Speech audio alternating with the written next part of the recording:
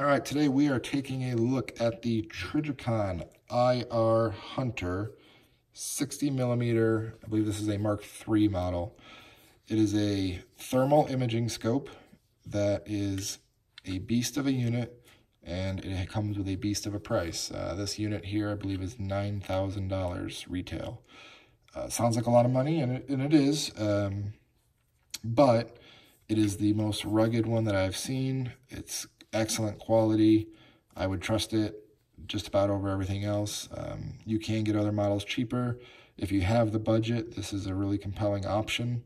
They make a couple other different versions. This is kind of a hunting specific one. 60 millimeter lens is pretty zoomed in.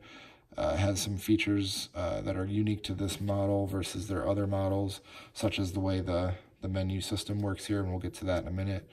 But the uh, they have also, uh, I believe it's a Reaper, Reap IR, depends on how you pronounce it, I guess. And then they have a, um, a, a Patrol IR or IR Patrol. Different models, those are a lot thinner. They use a little different. This is kind of a specific hunting art, uh, optic. Uh, this one, uh, this was a, a, loaner sent to me from Trijicon to play with for a month before, while I was writing an article for Athlon Outdoors. And I don't know if this comes standard. I believe this is an add-on, but it, it, adds an additional battery for uh, more output.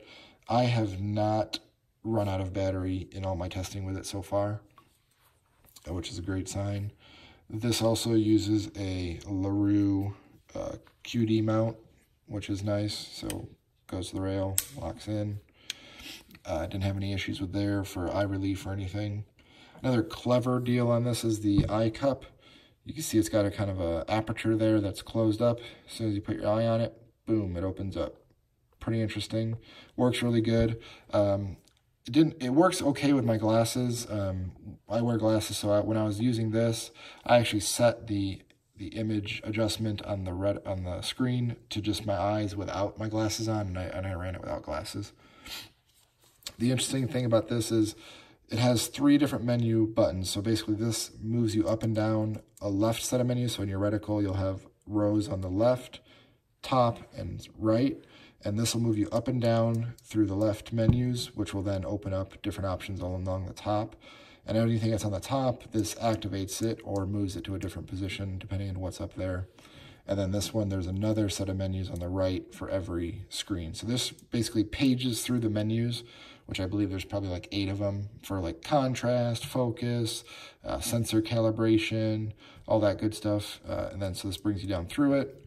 You can confirm choices here, or if there's a sub menu, you can scroll through those selections there. I found it actually way nicer than the joystick on the other models of Trijicon uh, thermals.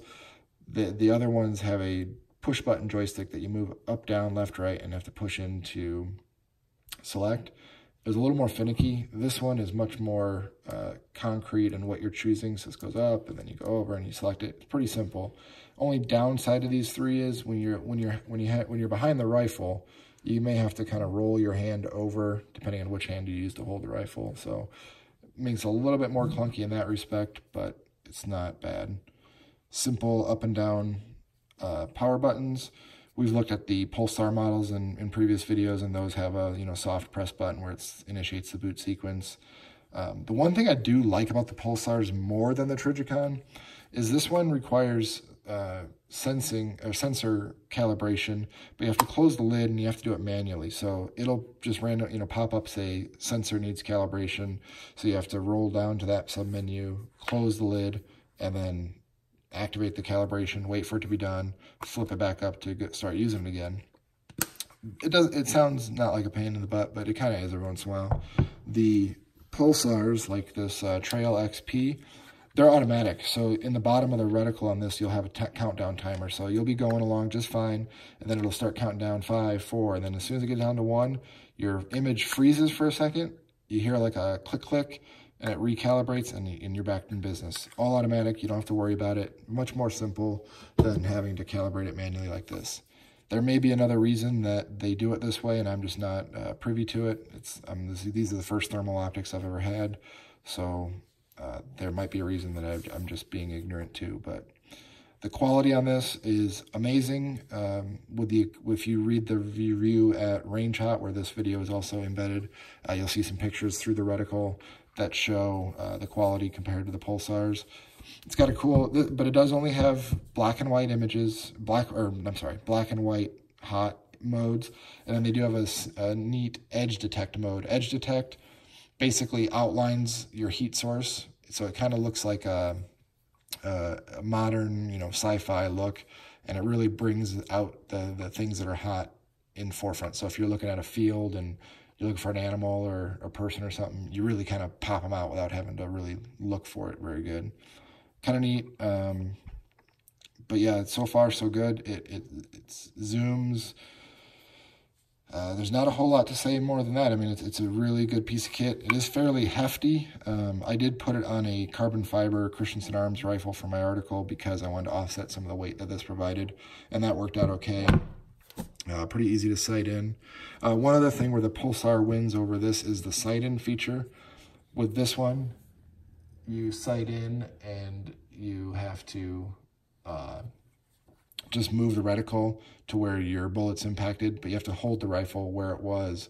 In the Pulsar, they have a freeze frame functionality. So you shoot your round, you align back onto the where you aimed, hit freeze frame, it'll lock that image, and then you can move the cursors to move your reticle to where the bullet actually impacted, and it's uh, much easier.